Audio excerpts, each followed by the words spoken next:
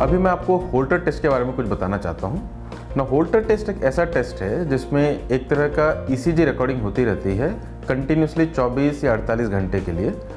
ये उन मरीज़ों में किया जाता है जो कि या तो धड़कन की शिकायत के साथ आते हैं या चक्कर आने की शिकायत के साथ आते हैं या फिर बेहोशी की शिकायत के साथ आते हैं। ना, होता ये है कि ऐसे मरीज़ों को जब धड़कन होती है या चक्कर आते हैं, वो मुश्किल से एक या दो मिनट के लिए रहता है या चार पाँच मिनट के लिए रहता है और उसके ठीक हो जाता है।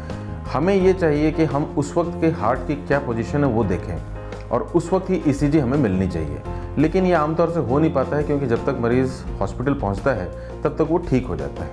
ना ऐसे केसेस को डायग्नोज करने के लिए हमारे पास जो मशीन है, उसको हम कहते हैं होल्टर डिवाइस इसमें ये होता है कि जिस तरह नॉर्मल ईसीजी निकाली जाती है, उसी तरह पेशेंट को लीड लगाए जाते हैं, लेकिन वो लीड पेशेंट के साथ चिपक जाते हैं। और एक छोटी सी मशीन होती है, मैं आपको दिखाना चाहता हूँ।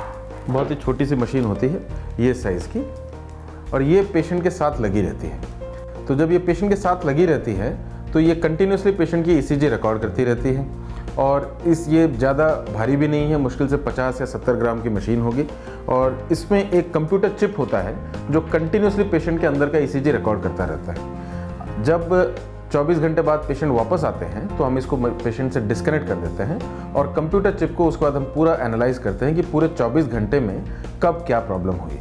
तो इस तरह हमें ये पता चल जाता है कि जब भी पेशेंट को या मरीज़ को धड़कन की प्रॉब्लम हुई थी या चक्कर की प्रॉब्लम हुई थी, उस वक्त एक्चुअली हार्ट में क्या प्रॉब्लम हो रही थी। तो ये बहुत ही काम की मशीन है, खासकर उन मरीज़ों के लिए जिनको कि धड़कन की शिकायत हो या चक्कर आने की शिकायत हो या फिर ऐसी शिकायत हो कि वो बीच बीच में बेहोश हो जाते हैं। इसमें कोई तकलीफ़ नहीं होती है, इसमें दर्द वाला कोई भी काम नहीं होता है।